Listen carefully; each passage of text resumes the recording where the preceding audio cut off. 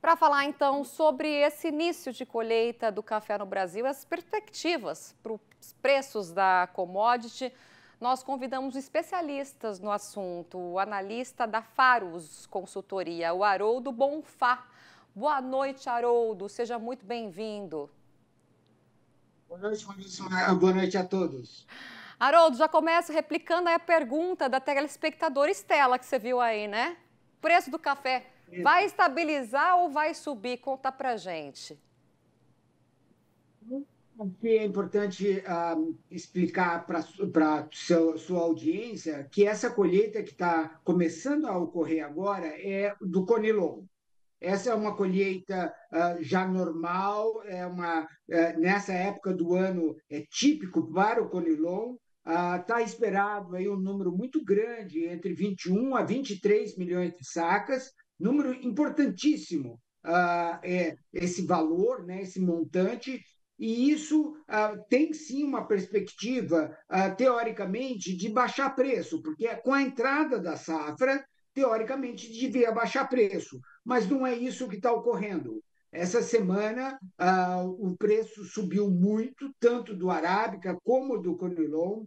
Nós estamos com negociações, por exemplo, do Conilon, acima de uh, 1.100, 1.150 uh, reais por saca. É um número impressionante, foi recorde histórico. Uh, houve ontem uma forte queda, uh, foi um ajuste de preço, tanto na Bolsa de Nova York como na Bolsa de Londres, por conta uh, de números aí do Vietnã.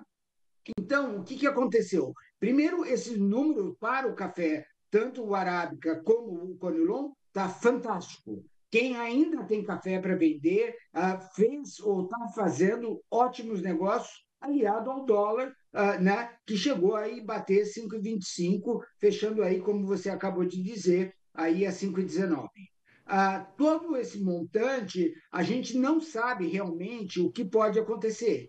Claro que todo mundo quer que suba né, o produtor, o, o comprador do torrador, da indústria, obviamente quer que baixe, porém, é essa, esse jogo de oferta e demanda que vai determinar o preço nas semanas futuras. Ah, a ver, ah, tem muito ah, dependendo do volume que a, o Vietnã planeja para a safra 24-25, né, que ela já tá, já foi colhida, e agora a 25, 26, que vai ser uh, colhida aí agora uh, em outubro, novembro.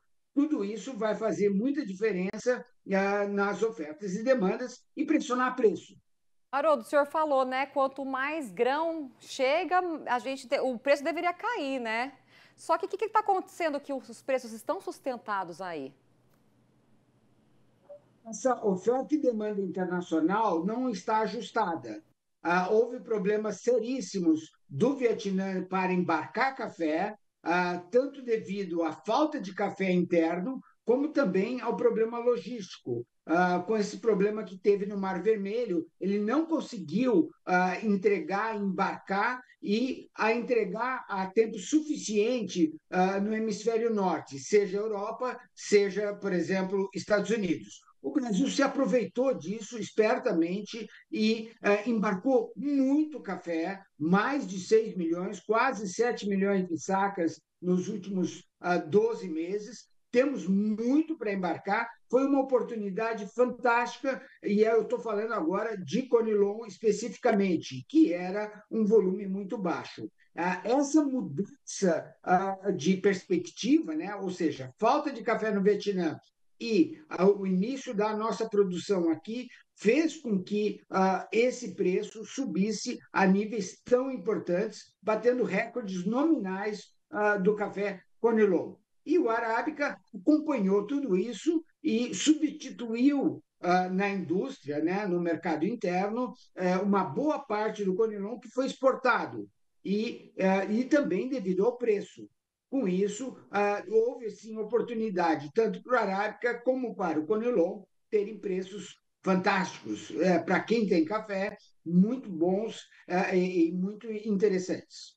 E antes da gente finalizar, a gente tem um minutinho, Haroldo, rapidamente, eu queria que o senhor deixasse uma dica aí para o produtor, né? Como que o produtor ele pode se planejar nesse cenário? Qual é a dica que você deixa, então, para o produtor de café? Primeiro, aquela análise de custo. Segundo, se apropriar agora desse dólar que está muito vantajoso, faça proteção, uh, converse com o seu gerente, com o seu consultor e faça uma proteção do dólar que está, como eu disse, fantástico. Faça sim negócios, se você ainda tem café, uh, principalmente no presente, o futuro, uh, tente organizar alguma coisa proporcional àquilo que você acha que vai colher e tenha muito bom senso. Né? Ah, o mercado esse ano vai ser muito interessante, lembrando que com Laninha chegando, o inverno chegando, é, junho, julho, agosto, ah, teremos meses frios e isso pode sim mexer de novo o mercado, que já bateu recordes, principalmente no Robusta. E tenham todos aí muito façam muito conta que vai dar certo.